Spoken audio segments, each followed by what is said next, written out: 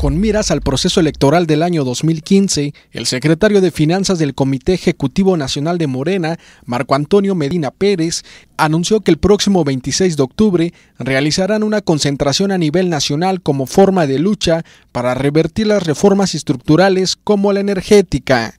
En conferencia de prensa, señaló que se espera la participación de alrededor de 7.000 afiliados, los cuales se concentrarán en el zócalo del Distrito Federal, por lo cual buscan que en el próximo proceso electoral las boletas cuenten con la opción para que los ciudadanos puedan decidir sobre la consulta ciudadana. O sea, nadie le informó al pueblo, oigan, voten por mí porque mi planteamiento es que vamos a regresar los recursos petroleros a las empresas transnacionales.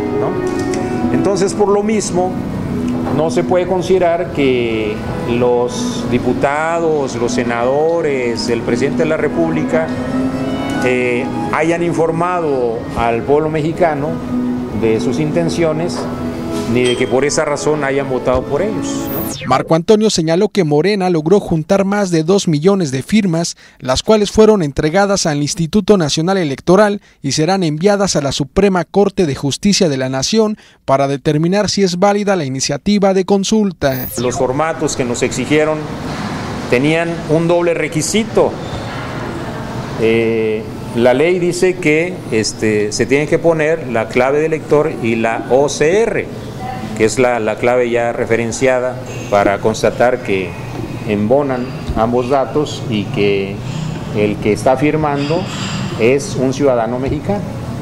Bueno, se cumplió con todo eso. Con imágenes de Citral y Aragón informó para MBM Televisión Iram Sánchez.